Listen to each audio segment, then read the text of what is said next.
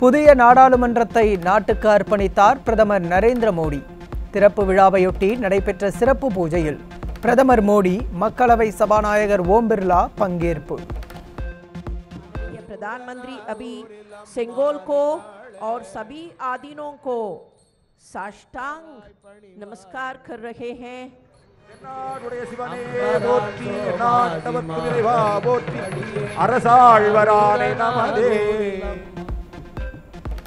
புதிய நாடாளுமன்றத்தில் ஆதீனங்கள் முன்னிலையில் சோழர் செங்கோலை நிறுவினார் பிரதமர் மோடி. தேவாரம் திருவாசகம் ஆகிய தமிழ் மறைகள் பாடப்பட்டன.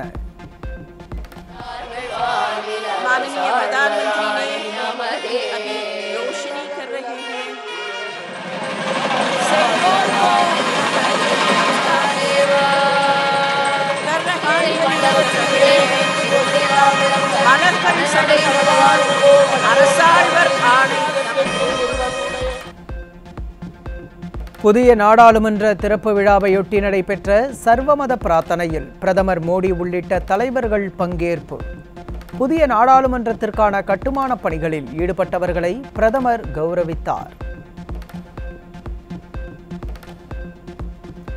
எழுபத்தைந்தாவது சுதந்திர தினத்தையொட்டி நாட்டுக்கு அளித்துள்ள பரிசுதான் புதிய நாடாளுமன்ற கட்டடம். புதிய நாடாளுமன்ற கட்டடம் இந்தியர்கள் அனைவருக்கும் பெருமை அளிக்கும் வகையில் கட்டப்பட்டுள்ளதாக பிரதமர் மோடி பெருமிதம். அதிகார மாற்றத்திற்கான அடையாளமாக செங்கோல் திகழ்கிறது. சோழர்களின் காலத்தில் நல்லாட்சியின் அடையாளமாக செங்கோல் பயன்படுத்தப்பட்டுள்ளது என பிரதமர் மோடி பேச்சு. புதிய நாடாளுமன்ற கட்டடம் திறக்கப்பட்டுள்ளதையொட்டி பிரதமருக்கு அதிமுக பொதுச் செயலாளர் எடப்பாடி கே. பழனிசாமி வாழ்த்து. சபாநாயகர் இருக்கை அருகே தமிழகத்தின் பெருமை மரபு கலாச்சாரத்தை எடுத்துக்காட்டும் செங்கோலை. நிறுவியதற்காக தமிழக மக்கள் சார்பில் நன்றி. புதிய நாடாளுமன்ற கட்டட திறப்பு விழாவில் அதிமுக பங்கேற்பு. எம்பிக்கள் சி வி சண்முகம் தம்பிதுரை சந்திரசேகரன் ஆகியோர் பங்கேற்றனர்.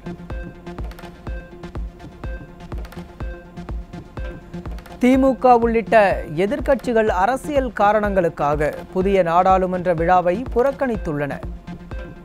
தமிழர்களையும் தமிழ் கலாச்சாரத்தையும் புறக்கணித்ததாகவே கருதுகிறோம் என அதிமுக எம்பி தம்பிதுரை விமர்சனம். கோவையில் அதிமுக உறுப்பினர் சேர்க்கை பணிகள் தீவிரம். பேரூர் செட்டிப்பாளையம் பகுதியில் உறுப்பினர் சேர்க்கை பணிகளை கள ஆய்வு செய்தார் முன்னாள் அமைச்சர் எஸ்பி வேலுமணி. கரூரில் செந்தில் பாலாஜியின் நண்பர்கள் மற்றும் உறவினர்கள் வீடுகளில் மூன்றாவது நாளாக தொடரும் வருமான வரி சோதனை. மத்திய பாதுகாப்பு படை வீரர்கள் பாதுகாப்பு.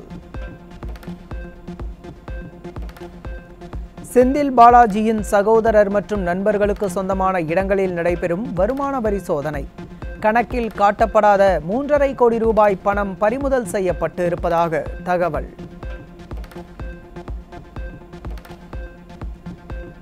ஈரோடு திண்டல் பகுதியில் டாஸ்மாக் லாரி ஒப்பந்ததாரர் சச்சிதானந்தம் வீட்டில் மூன்றாவது நாளாக தொடரும் ஐடி ரெய்ட். பத்திற்கும் மேற்பட்ட அதிகாரிகள் சோதனையில் ஈடுபட்டு வருகின்றனர். கோவை பீளமேடு கோல்விங்ஸ் பகுதியில் செந்தில் பாலாஜியின் ஆதரவாளர் செந்தில் கார்த்திகேயனின் அலுவலகத்தில் மூன்றாவது நாளாக தொடரும் ஐடி ரெய்டு செந்தில் கார்த்திகேயனின் வீட்டிற்கும் பலத்த போலீஸ் பாதுகாப்பு.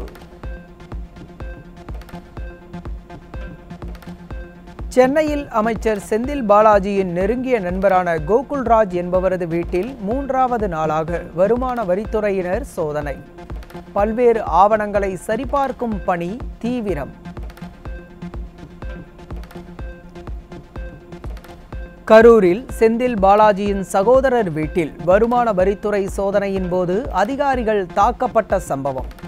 செந்தில் பாலாஜியின் ஆதரவாளர் பூபேஷ் உட்பட திமுக குண்டர்கள் எட்டு பேரை கைது செய்து போலீசார் விசாரணை. திருச்சி மாவட்டம் துறையூர் அருகே மணல் கொள்ளையை தடுக்க முயன்ற வருவாய் ஆய்வாளரை கடுமையாக தாக்கிய அமைச்சர் நேருவின் ஆதரவாளரும் திமுக ஊராட்சி மன்ற தலைவருமான மகேஸ்வரன் கைது. படுகாயமடைந்த வருவாய் ஆய்வாளர் பிரபாகரன் அரசு மருத்துவமனையில் அனுமதி. சென்னை உயர்நீதிமன்ற தலைமை நீதிபதியாக எஸ்பி கங்கா பூர்வாலா பதவியேற்பு. ஆளுநர் ஆர் என் ரவி பதவி பிரமாணம் செய்து வைத்தார். அமெரிக்காவில் தீபாவளிக்கு பொது விடுமுறை அளிக்கும் மசோதா அந்நாட்டு நாடாளுமன்றத்தில் தாக்கல். ரஷ்யாவிலிருந்து எண்ணெய் கொண்டு வரும் இருபத்தோரு இந்திய கப்பல்களுக்கு புதிய சிக்கல். பயன்பாட்டு சான்றிதழை ரத்து செய்யப் போவதாக பிரிட்டன் நிறுவனம் அறிவிப்பு.